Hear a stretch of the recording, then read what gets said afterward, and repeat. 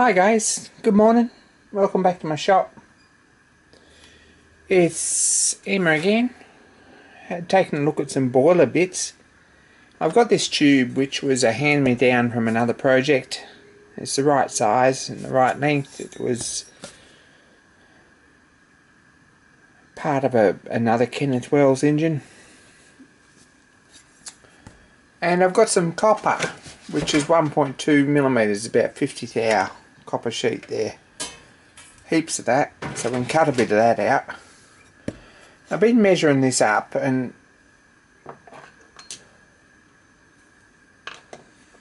this tube is imperial measurements. We have a look, it's inch and five eight. outside diameter.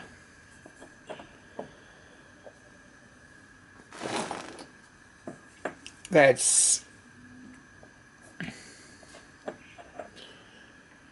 one point six two five inches. And inside diameter is inch and a half, pretty well exactly.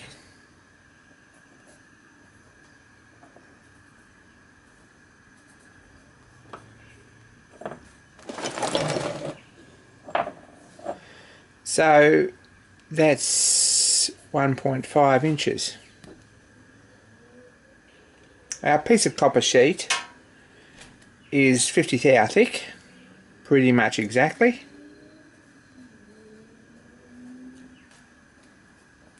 Yeah.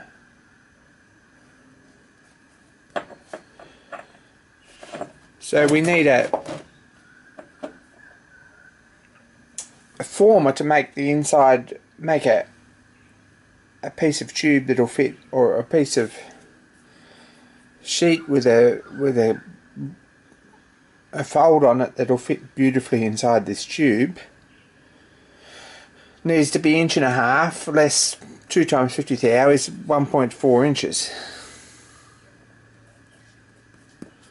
So that's pretty straightforward. I found a bit of steel over here.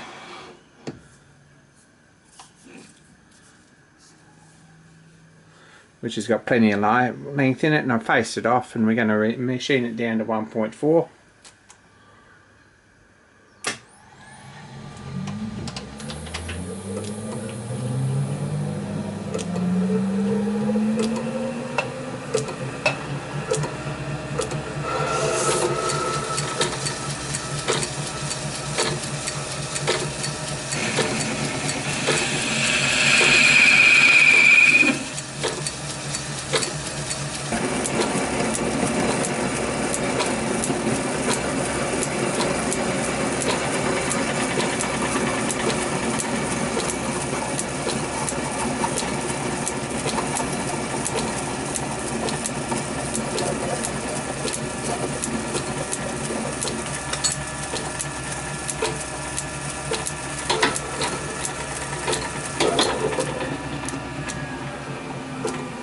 So I gave up on that piece of steel.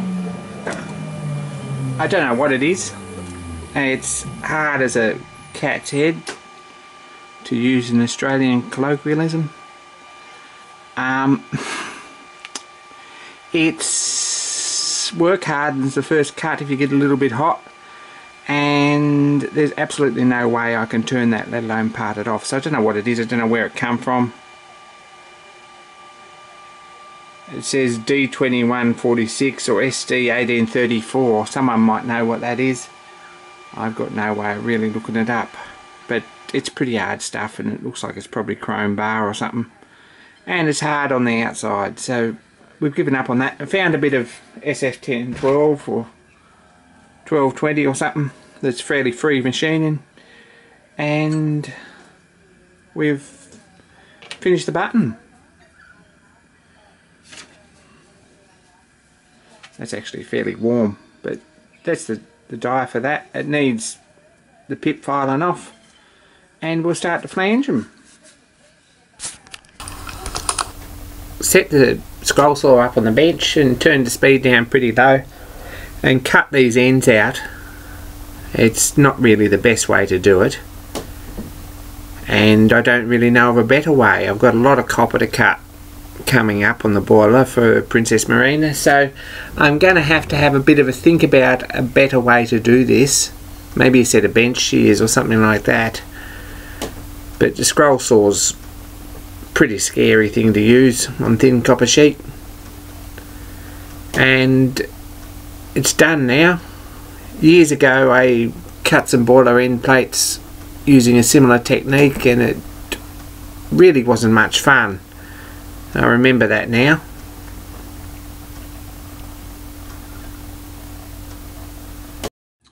So a totally harrowing 20 minutes later, I've cut these out pretty rough. It's not really the best way. And I can sort of remember why when I did it before that it wasn't such a, a terrific idea. So these are a bit bigger than the line all round. They're going to need setting up in the vise and a good coarse file just to clean them up. And that'll be next. So about another five minutes work. And I've got two circle, two discs. You notice I haven't centre punched the centre to mark them. Because I reckon that'd probably provide a weak point in the boiler. It's not good practice. So, I've got two discs they've got to be flanged over a former.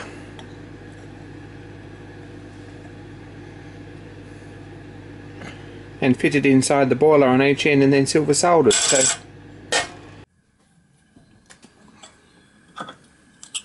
So we've got these cut out and marked for the former. It's got a line there. If we line that up nicely there like that and just hold him together.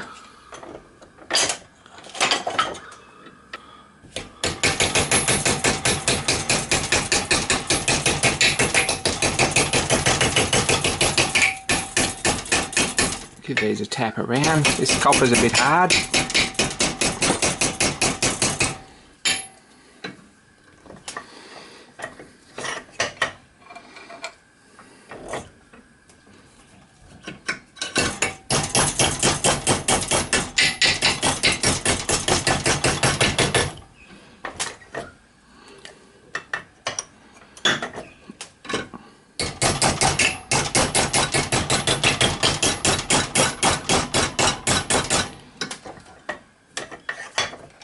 Just move it a bit at a time.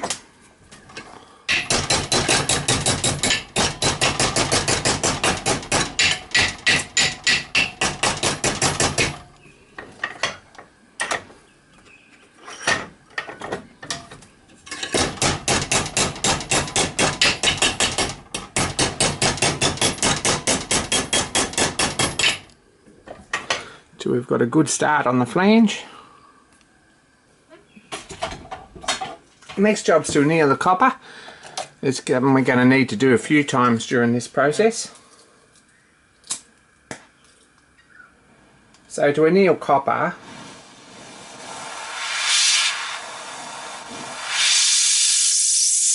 the opposite of steel, we need to get him red hot and dunk him in water.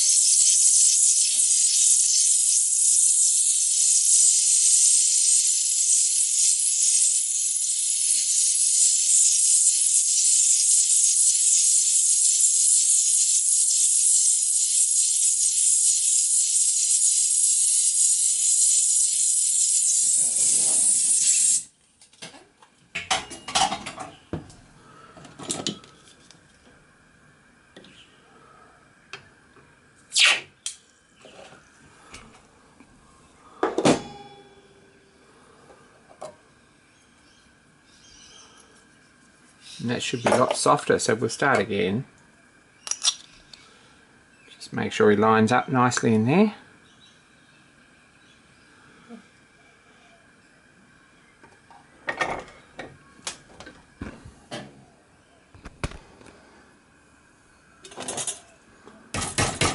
And you find that bends about 20 times easier when the copper's soft.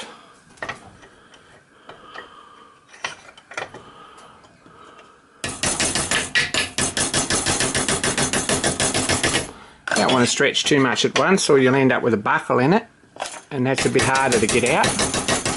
Just a bit at a time. Go right round and anneal him again.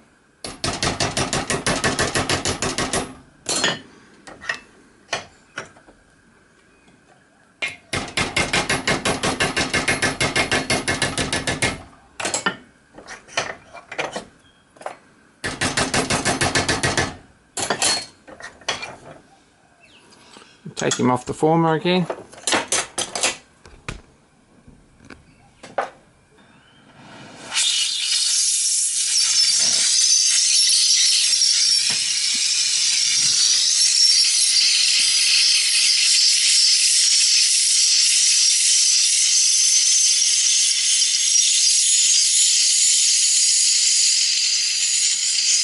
Just keep the flame moving and get them nice and warm through.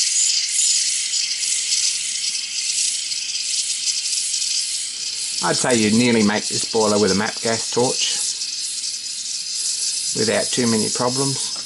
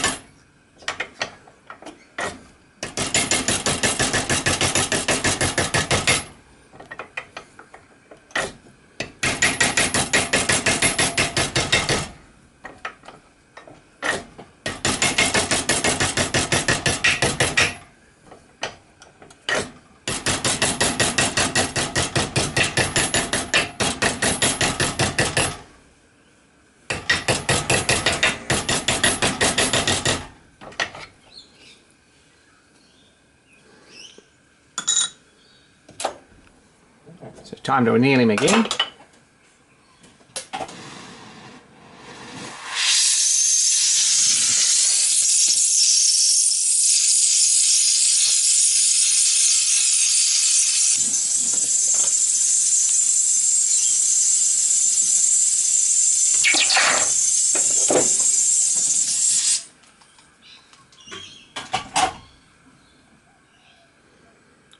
Water's starting to get a bit warm here. It might be time for some fresh stuff. We've got a couple more yet to go on this end. It's nice and seated there.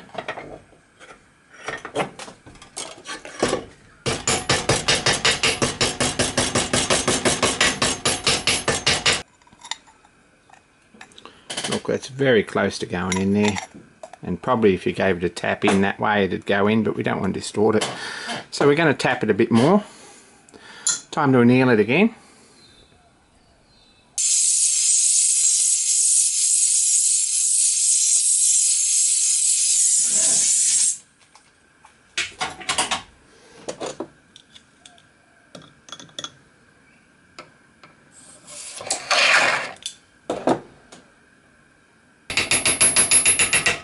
look we can see it closing up there nicely no more gap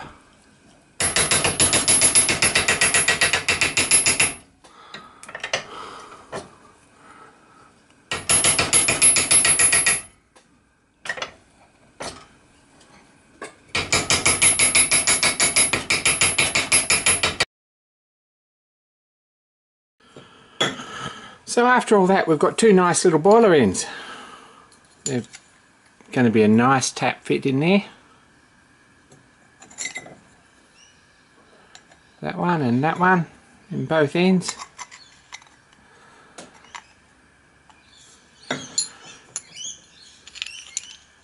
So there's still one more job to do on these. One of them needs a hole in here just drilled through from the inside for the for the pipe and that lines up with the on the top of the boiler